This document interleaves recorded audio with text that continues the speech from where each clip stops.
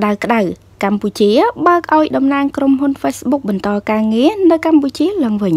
កម្ពុជាបានបើកផ្លូវឲ្យតំណាងក្រុមហ៊ុន Facebook បន្តបំពេញការងារនៅកម្ពុជាឡើងវិញការបើកភ្លើងខៀវវិញធ្វើឡើងបន្ទាប់ពីក្រុមហ៊ុន Facebook Meta នេះមិនពិន័យលើ Facebook ផ្លូវការរបស់សម្ដេចតេជោហ៊ុនសែនតាមសំណើរបស់សមាជិកក្រុមប្រឹក្សាត្រួតពិនិត្យនេះបើតាមសេចក្តីប្រកាសព័ត៌មានរបស់ក្រសួងប្រៃសណីនិងទូរគមនាគមន៍នៅថ្ងៃទី29សីហានេះ តាមរយៈសេចក្តីប្រកាសព័ត៌មានដដែលក្រសួងប្រៃសណីនិងទូរគមនាគមន៍ចាត់ទុកការសម្រេចនេះថាគឺជាការ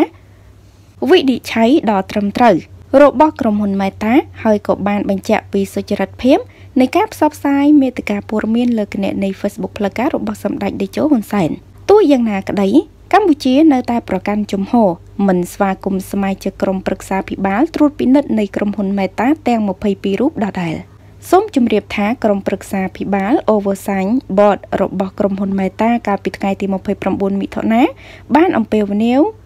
ឲ្យជួទំព័រ Facebook សម្ដេចតេជោរយៈពេល6ខែពាក់ព័ន្ធនឹងវីដេអូមួយដែលត្រូវបានវាយតម្លៃថាបាន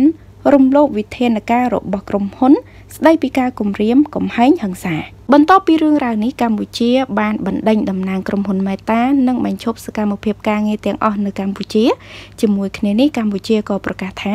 សមាជិកក្រុមប្រឹក្សាភិបាលរបស់ក្រុមហ៊ុន Meta ទាំង22រូបនោះ គឺជាបុគ្គលដែលមិនត្រូវស្វាគមន៍ផងដែរកម្ពុជាចាត់ទុកអនុសាសន៍របស់បុគ្គល22រូបនោះមានចរិតនយោបាយនិងជ្រៀតជ្រែកកិច្ចការផ្ទៃក្នុង។